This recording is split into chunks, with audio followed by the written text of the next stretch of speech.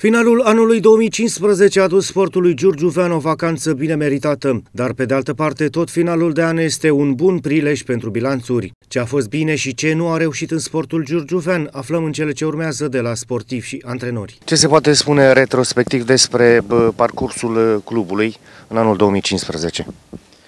În anul 2015 am, am fost în competiții cu cele 5 secții pe care le avem la, în cadrul clubului. După cum știți, avem fotbal, natație, atletism, tenis de masă și lupte, lupte greco-romane. Uh, obiectivul nostru a fost participarea câtor mai mulți copii în, uh, să fie cuprinși în competiții. Uh, avem cam în jur de 200 de copii. Vrem anul 2016 să crește cu încă 30-40 de copii. Avem în plan și deschiderea unei noi secții, o secție de basket fete, un joc sportiv pentru fete. Cam, cam astea sunt uh, ce obiectivele noastre pentru 2016. De la secțiile clubului sportiv municipal ne oprim la fotbal și la formația Dunărea, plasată la finalul sezonului pe primul loc în clasament. Dunărea a abordat cu ambiție campionatul 2015-2016 al Ligii a patra fotbalistice, având ca target plasarea în primele două echipe. Parcursul nostru, după cum bine știe toată lumea, a fost unul, zic eu, în acest an de excepție, ținând cont că în cele 13 etape disputate avem un rezultat de egalitate și 12 victorii un gol averaj destul de, de bun. Evoluția echipei a fost uh, așa cum ne așteptam, așa cum am pregătit-o toate, toată perioada din, uh, din vară, cu meciuri amicale destul de puternice. Știam că va fi un, uh, un tur de campionat destul de disputat, ținând cont de faptul că ne întâlneam cu Uh, campioana județului de anul trecut uh, Arsenal Malu, cu vicecampioana de județ uh, Unirea Izvoarele și am vrut să demonstrăm că la Giurgiu începe să renască o nouă echipă a Dunării, cum a fost și înainte. De unde această renaștere de care ne, spre, de care ne vorbiți? Cu ce ați venit nou în acest campionat? Uh, am venit nou în acest campionat, în primul și în primul rând, uh, exact cum am spus, nu din uh, retur, ci de la începutul anului, prin noua strategie de management, au fost uh, prin numirea președintelui Adonis Puiu uh, la conducerea clubului, s-au făcut foarte multe modificări în ceea ce privește organizarea clubului, uh, antrenorii, ședințele de antrenament, cerințele au crescut de la zi la zi și totul s-a văzut în rezultatele echipei, nu numai de seniori, ci la toate, la toate nivelurile. Știu că v-ați pus în plan să ajungeți campioană. De cine vă temeți? Noi ne-am pus în plan, uh, vrem să ajungem uh, să câștigăm titlul de campioană de județ. Uh, în primul și în primul rând ne temem de faptul ca sportivii noștri să nu, să nu se vadă deja câștigători și să abordeze și acest retur la fel ca și turul de campionat. Zic eu că victorile vor veni și rezultatele vor fi cele care, pe care le-am vrut noi. Va fi meciul de aici, de pe stadionul Dunărea cu Arsenal Malu, meciul decisiv? Fiecare, fiecare meci este decisiv, nu numai acesta cu Arsenal Malu, deoarece vom juca încă o dată și cu Unirea Izvoarele și știți cum e, întotdeauna trebuie să te ferești și de echipele mici, care un campionat se câștigă și în meciurile cu echipele mici, nu numai cu cele mari. Formația Arsenal Malu, campioana în titlu, a pornit și ea cu încredere în acest campionat, având ambiția ca în 2016 să câștige și Cupa Județeană. Sezonul 2015 s-a încheiat cu echipa noastră în grafic în ambele competiții, și în uh, Cupa României în faza județeană și în uh, campionat. Suntem pe locul 2 în campionat, un loc eligibil pentru play-off. Uh, am trecut în semifinalele Cupei României, deci să zicem că a fost un an bun, nu foarte bun, pentru că au existat și sincope, egalul de acasă cu Dunărea Giurgiu și înfrângerea de la Mihai Bravu. În rest, numai victorii pe linie, deci nu putem să, nu putem să spunem că a fost un an uh, rău. A fost un an bun. Uh, sperăm ca uh, partea a doua a sezonului să fie cel puțin la fel de bună ca și această primă parte și să-l, să-l încheiem cu o participare la play În momentul ăsta și clasamentul spune că pentru play-off se bat uh, trei echipe, Drărea Giurgiu, Arsenal Malu și Unirea Izvoarele. În ordinea aceasta, având în vedere și faptul că Unirea Izvoarele și-a câștigat uh, prin contestație meciul de la Mihai Bravu și a revenit în uh, lupta pentru titlu, aproape de noi.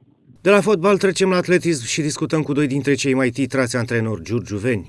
În anul 2015 am uh, reușit mai multe medalii cu sportivi diferiți, atât ca și uh, uh, probe în concurs, cât și vârste diferite. Este încă un an cu reușite pentru mine, personal, ca și antrenor. Cel, cel mai medaliat sportiv al meu este spre satisfacția mea și sper că nu deranjează pe nimeni că spun lucrul acesta așa, este chiar fica mea. Ea a reușit patru medalii la campionatul național, una de aur, două de argint și una de bronz. Senzațională evoluția ei, a reușit niște performanțe foarte frumoase. Uh, sunt mândru de acest aspect, în dublă calitate, cum spuneam, dar la fel de mândru sunt de toți ceilalți care au reușit performanțe. Bogdan Georgevici, la aruncarea discului, obține prima medalie din cariera sa la seniori, deci între cei mai mari sportivi ai României. Uh, ia medalie și la categoria tineret, la aruncarea discului, precum spuneam. A ratat medalia foarte, foarte puțin la aruncarea greutății și acolo s-a prezentat foarte bine Bogdan. Un sportiv care de ani de zile ne obișnuiește cu poziții pe podiumul național. Bodnaru Manfred a ratat de puțin podiumul anul acesta, la 60 de metri, uh, cu toate că el uh, a alergat mult mai bine decât altă dată, a prins o generație extrem de puternică, cu sportivi care au uh, reușit să obțină rezultate mari și în competițiile internaționale și la mustață, cum se spune în lumea noastră, a ratat medalia venind pe poziția a patra Uh, la un moment dat. Uh, un an bun, un an uh, excelent, au promovat foarte mulți copii, au plecat alții de la noi din grupă pentru că au terminat junioratul și sunt mândru să vă spun că doi dintre foștii noștri elevi sunt studenți acum, unul la educație fizică și unul la kinetoterapie. Este și acesta un aspect demn de luat în seamă. Una peste alta e bine în comparație cu condițiile în care ne desfășurăm activitatea, eu spun că este un an excepțional și Uh, ca o curiozitate, este al 16-lea an consecutiv pentru mine cu medalii la campionatele naționale și, și asta e o mare performanță pentru mine personal. Felicitări și tot înainte și mai sus și mai repede. Mulțumesc frumos! Uh, odată cu 2016, care uh, eu cred că va debuta și cu pista de atletism de atâta timp așteptată. Am văzut că s-au reluat lucrările acolo și am toată încrederea că de această dată se va finaliza. Eu cred că atât eu cu copiii pe care i-am, cât și alții care vor veni uh, prin prisma acestei dotări și uh, odată cu apariția uh, pistei vor veni copii din ce în ce mai mulți, eu cred că Giurgiu va avea o evoluție mult mai bună la campionatele naționale și vreau să le mulțumesc tuturor celor care nu au pus Batista pe țambal, cum se zice în anii ăștia, în care ar fi putut să o facă și ar fi avut toate motivele din lume să renunțe. Dar dragostea pentru această disciplină sportivă a fost mult mai mare în comparație cu dificultățile prin care am trecut. Retrospectiv vorbind, uh, Clubul Sportiv Municipal Giurgiu a participat la competițiile din calendarul sportiv național cu 5 secții, a căror sportivi au abordat atât campionatele naționale de seniori, cât și campionatele naționale de tinere, de juniori și putem spune că facem un bilanț destul de bun în acest an. Am reușit uh, clasări pe podium la tir, am reușit clasări pe podium la atletism, tenisul de masă de asemenea, judo a reușit o clasare foarte bună, iar spre sfârșitul anului chiar și uh, boxul uh, a obținut rezultate promițătoare. Aveți proiecte deosebite pentru 2016? Ne propunem să ne continuăm pregătirea.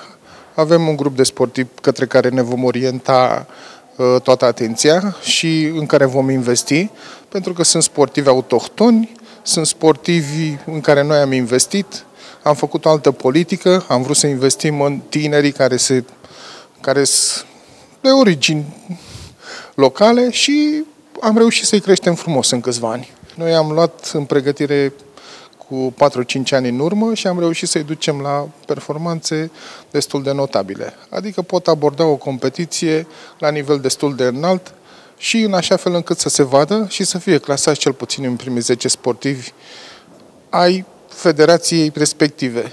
Avem sportivi care s-au clasat foarte bine la 800 de metri, care s-au clasat bine la 400 de metri, care s-au clasat bine la sprint.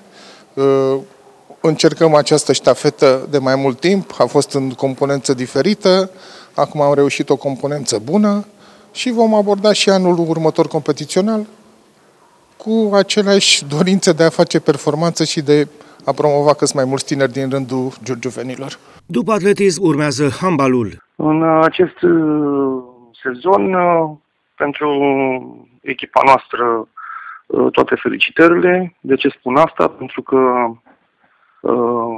băieții s-au reunit târziu, nevoie ca să-i ținem uniți, deoarece în prima parte a sezonului nu am participat în nicio competiție, vorbesc despre prima parte a anului. Am înțeles, ne-am întâlnit în august, s-au pregătit bine. Obiectivul nostru de comun acord cu ei a fost ca să intrăm în cele patru, primele patru locuri care califică echipele pentru semifinal. Suntem în grafic, suntem pe locul 3, acum în, la sfârșitul anului. După 29 ianuarie se rea partea, ultima parte a returului, iar apoi imediat începe, încep cele două turnee de sală, practic, un, practic încă un, încă un tur, deci fiecare echipă va juca cu cealaltă câte trei meciuri. După, după acest retur sperăm să avem patru victorii, și, cum v-am spus, să în, în echipele care merg la turneul semifinal. Pentru cele două semifinale, nu știu la ora unde se vor desfășura, în funcție de cine va oferta unul dintre turnee și pe celălalt, atunci putem să discutăm la momentul acela. Facem uh, antrenamente la școala numărul 10, uh, de luni până vine de la 8, 20-30 seara. Am hotărât această oră pentru că um, băieții sunt uh, la școală unii de dimineață și alții de dimineață.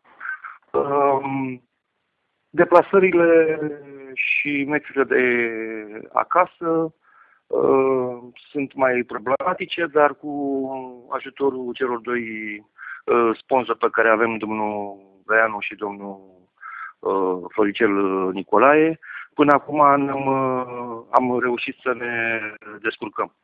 Ce ar fi de, de făcut în continuare? Ar fi un lucru... Ce, ce vă lipsește cel mai mult? Ce v-ați dori voi să vi se întâmple?